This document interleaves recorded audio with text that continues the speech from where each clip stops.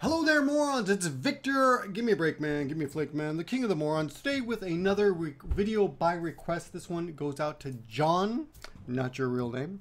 John is also a Patreon uh, supporter and uh, student, actually. And he's visiting his Japanese uh, friends this weekend. And he'd like to know uh, what are some appropriate expressions. Now, what I've done here is, uh, like many of the questions that uh, are asked, I am asked, I just checked Maggie Sensei because we have so many lessons up there already. We have a two-part uh, lesson. Hold on, let me show it to you here. This is, here we go. This is Maggie Sensei visiting someone's house in Japan part two. There's also a part one. And on this one, you can you you can read about the typical questions you will be asked. But today, this this is for someone who's visiting the house. So uh, these are things that he will say to um, his guest. And these are examples. And by chance, this uh, person's name is also John. Anyway, I'm going to read along with you. And, uh, by, and by the way, I'm having a little trouble with the the video editor here. So if I'm in the corner here, it's because I it's something's wrong with this video editor, the screen capture program. So anyway, uh, but it doesn't matter. You don't need to see me really my big face. Um, we need to we need to we need to see the screen. That's the point. So let's get to it. So when you go to someone's house, you, of course, you're going to say hajime mashite, and that's what it says here. I'll highlight both so you can see. Uh, say your name very simply. Victor desu hajime mashite. Hajime mashite. Nice to meet you.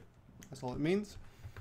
And then, if possible, you want to try to establish your connection uh, to someone that they might know. For example, in this case, Maggie sensei no seito no John desu. So pick a relationship and then at the end you put you enter your name. So for example, Victor sensei no seito no John desu. Victor student John. In this case, Maggie sensei no seito no John desu. Of course, I would never call myself sensei. Uh, I'm just giving you, I'm just reading the example. Um, anyway, if you work for a company, I suppose you could say Toyota no John desu or Toyota Sangyo if you have a, a full company name, uh, Toyota Sangyo no John desu. Hajime mashite. And as we can see, it says, I'm John. Uh, and, and of course, links for this are in the description, so you can click and read along if that's easier for you. I'm John. I'm uh, Maggie Sensei student. Nice to meet you. So, hajime mashite is nice to meet you. Hajimeru actually means to begin. So, hajime mashite is a takeoff of to begin. This is the first time we are meeting, so we are beginning. はじめまして、マギーさんにいつもお世話になっています。I, I kind of stuttered there. Mag, this is very important. お世話 let me, let me highlight the important part. お世話になっています。お世話になっています。お世話になっています。If you prefer this, お世話になっています。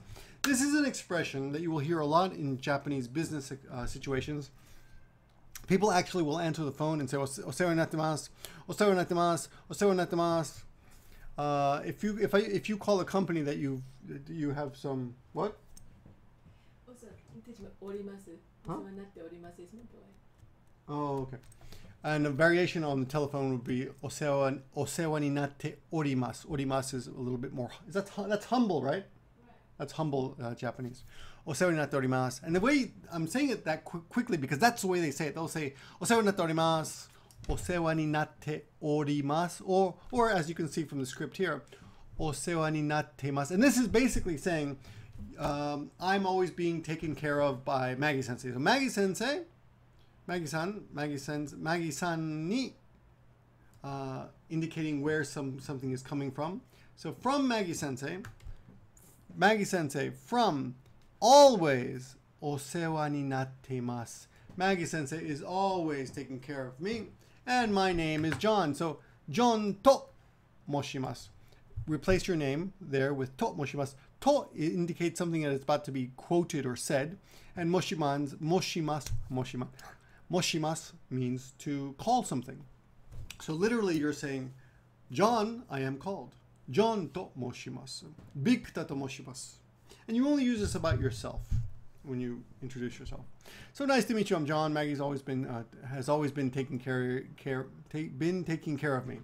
has always been taking care of me. So Maggie's always taking care of me. Okay. So here, here's the important point. Osewa ni naru. And there's actually a lesson there you can click off and go to see, see that. But today we're just going to talk about expressions that you can use when you visit someone's house. And I'm, I'm going to try to keep this to about 10 minutes. Of course, there are there. This lesson is very, very long. So if you want to read the whole thing, please do. But today we're just going to give you a little introduction to things you can say when you visit someone's house.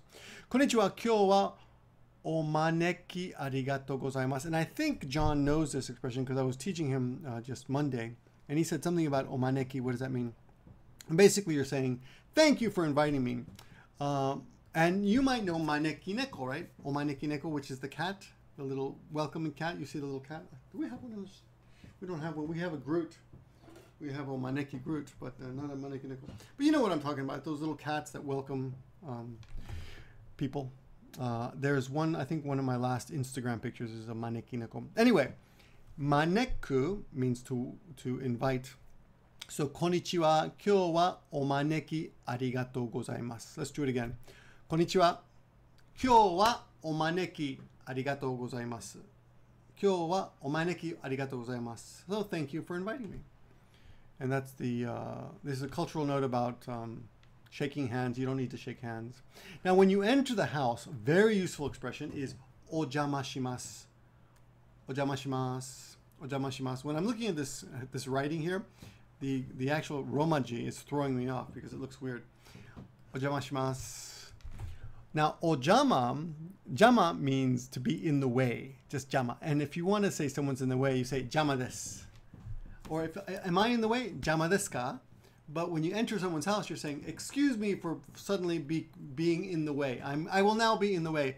Ojama shimasu, ojama shimasu, ojama shimasu. I am now entering your house, and I'm literally going to be bothering you or in the way. Okay, and there's a jama lesson too. Maggie Sensei is amazing. So you've got a jama jama lesson, and then of course we say shitsure shimasu, shitsure shimasu, and there's the English as well and I am now going to be polite. When you say this, you're literally saying, I will now do something impolite. And it's a humble way to saying, um, like, I'm sorry to bother you. I'm sorry to bother you. I'm, I'm sorry to trouble you. Shitsure shimasu. Uh, shitsure shimasu. Shitsure shimasu. Um, this expression is very, very common also. Just, it's, it's a little bit like, excuse me, shimasu you use it quite a bit. But when you enter someone's house, you can say ojamashimasu and shitsureshimasu. Kind of, you can mumble these, mix them up as you kind of enter the house and stumble around, taking your shoes off, etc. Remember, you got to take your shoes off before you go into a Japanese house. What's the difference here? Uh, oh, I'm sorry. I just realized. Uh, this is shitsure itashimasu, which is more polite. This is enough. Shitashimasu. This is this is enough. But if you want to be more polite, you say itashimasu. Itashimasu is the humble form of suru. So I'm about to do something rude.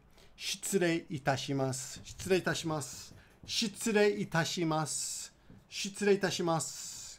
And then shitsure shimasu.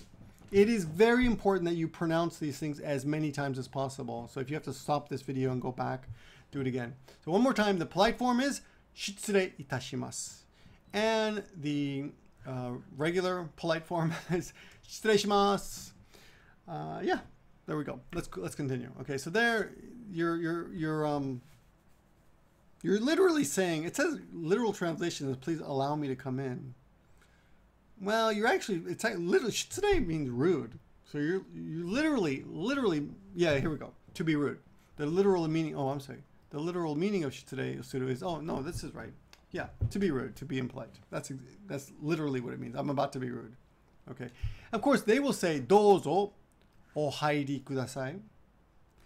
And if it's if you're stepping up, like a lot of um, genkans, genkan is the uh, genkan by the way. Genkan is the foyer of a house, and many foyers are slightly elevated, and they might say oagari kudasai or oagari, which means step up. But just this is fine. Dozo ohairi kudasai. Hairu, hairi, hairu is enter. O is polite. So dozo, please. Ohairi, enter, please. Kudasai. So um, you're actually saying please twice. Please come in. Ohairi kudasai. Please, well, literally, please come in. Go ahead. Yeah, dozo, I guess. It, it, it could be go ahead or please. And I guess in this case it would be go ahead. Go ahead, please come in. Uh, dozo, dozo, dozo. See, here it's translated as please, but it could be uh, here you go, here you are. Okay. Um, here we go. Uh, Japanese people, I was just criticized on oh, my Give Me a Flake Man channel for having a dirty house, but by one of my rude commenters. But anyway, Japanese houses, even if they are clean, and they are, they are actually, I think, overly clean sometimes, as I've complained before. Uh, however, they will be humble and say, "Hey, I'm sorry, my house is so dirty," and uh, this is how you would say that: "Kitanai," which is dirty. Kitanai is dirty. Kitanai ie house desu ga, but dozo. So please.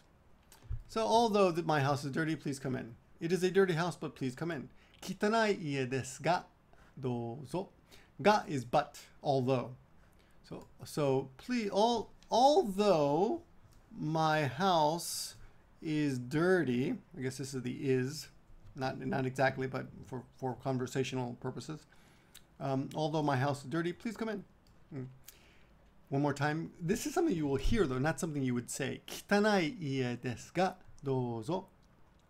And another example of that, uh, instead of dirty, is cluttered. And that's chirakatteimasu. Chirakateiru is the um, casual form, but chirakatteimasu means is a little bit more polite, the mas form. Chirakatteimasu ga, although my house is cluttered, dozo, please. O hairi kudasai, come in. So although my house is cluttered, although it's cluttered, please come in. Right. Uh, yogoshiteimasu ga, yogo, yogoreru is to become dirty. Yogoshiteimasu is it is dirty. Yogoshiteimasu ga, dozo. So although it is, uh, this literally means dirty, but uh, it can be translated as cluttered. Although it's cluttered, please come in. Another thing you will hear a lot from Japanese houses, because it is true, is that our houses here, and I, I say our because I, I live in a Japanese house, of course, they are very small. And you have expressions like chisai ie desu ga dozo. Although it is small, please come in. Okay. Chi Now be careful, it's not chisai, it's chisai. Chisai. Chisai ie. Ie is house. Desu ga, although. Although it is, this house is small. Although how small, dozo. Please come in. Chisai ie desu ga, dozo. Please come in. So these are the things that you might hear. And of course, I mentioned a few minutes ago that the entrance or the foyer of the house is called a genkan. Here it is in the lesson, actually. And hosts will often supply slippers for you. So, a uh, couple things. Be sure your socks have no holes in them because nobody wants to see your stinky feet. Okay. And uh, in cases where um, maybe you're you don't you're not wearing shoes, uh, you might bring a pair of socks. You know, I've actually we've actually had students bring uh, their own pairs of socks that they and even some with slippers. Not so common, but but some people will even bring their own slippers. Uh, well, this is you know a place of business, so although as you can as you can see, I'm not wearing um, I'm not wearing my uh, shoes, just my socks there, right? But um, those are special Japanese socks. Anyway, they'll give you they will give you slippers often, and they'll say slipper, dozo, slipper o dozo. Slippers in Japanese is slipper. Wo indicates the action that the verb will take, uh, what the verb will act on. In this case, there's actually no verb. It's just saying, here, take the slippers. Slipper o dozo. So please use these slippers. And you'll get these slippers. Well, this was taken a long time ago. We don't have those slippers anymore. It's customary to, to exchange your slippers. Oh, those are my old pairs of shoes. Look at that. uh, anyway, this is, oh, look at that. There's, a, there's Maggie Sensei. She likes to hang out by the slippers. So this is, this is uh, I think this is enough for now. Uh, but these are some typical things you could say. Now, when you are visiting a house in Japan, it's customary to bring a gift. Uh, if you know what your host likes, bring them something that they like. Uh, in the summertime, we'll have something called ochugen, which is a summer gift. And if you are visiting someone in the summer, you can take this opportunity to bring them a, a an ochugen. But um, Uh, often ochugens are you go to the department store and you fill out a form and you and you pick something out of a catalog and you have it sent to them. So it's kind of a nice delivery, and they're often things like uh, there'll be cases, uh, collections of. Uh, it's usually food actually. It's almost always food. Uh, cases of beer, like a big box of, of nice beer cans, and it'll be like uh, seventy percent beer and thirty percent juices, or some nice um, bottles of really expensive fruit juice for some reason, or noodles, or even cuts of meat. So this is what happens uh, uh, in the um, in the summertime here in Japan. Anyway, that's enough for now. Uh, of course, please read through this uh, because this, this lesson is going to drag out. Please read through the lesson. And there's a lot of other really useful things you can say. For example, how to compliment the house. And as you can see, there's actually a file here. 素敵なお家ですね。素敵なお家。素敵なお部屋ですね。素敵なお家ですね. So you have a nice house. And you have a nice room. 素敵なお部屋ですね. And, it, and there's all the explanations here. So there's a lot there's a lot more to learn. Please check Maggie Sensei if you want to learn on learn how to uh, say the proper things when you visit a Japanese house. That's all I got for you today. Thanks for watching, guys. I will see you all in the next video.